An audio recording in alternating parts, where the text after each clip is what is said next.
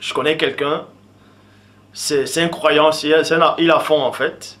C'est un Sénégalais, c'est un musulman, c'est un Sénégalais. Je lui ai montré euh, cette image-ci, j'ai dit, c'est qui ça? Il a dit Jésus. Et là, j'ai rigolé. vous voyez, c'est Borgias.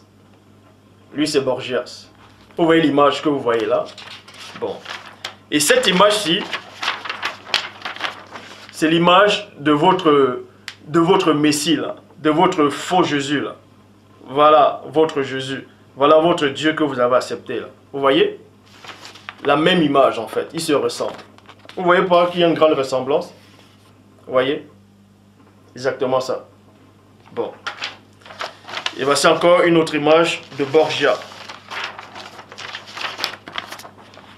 Borgia. Quelle ressemblance avec celle-là Quelle ressemblance Vous pouvez aller sur Google, Yahoo, Wikipédia, vous tapez Borgia. Hmm? Vous tapez euh, César Borgia et vous allez voir cette image. On va même vous raconter son histoire. En fait, c'était le fils du cardinal Rodrigo Borgia. C'était le fils d'un cardinal. Bon. Et pour inventer celui-là, ils ont pris l'image de celui-là, ils l'ont dessiné. Ils ont dessiné celui-là.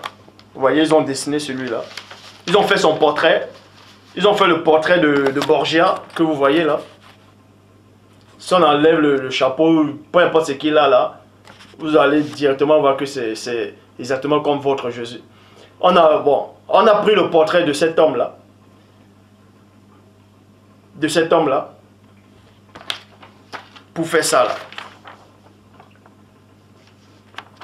Et on vous explique que celui-là est arrivé il y a 2000 ans. Et c'est complètement faux.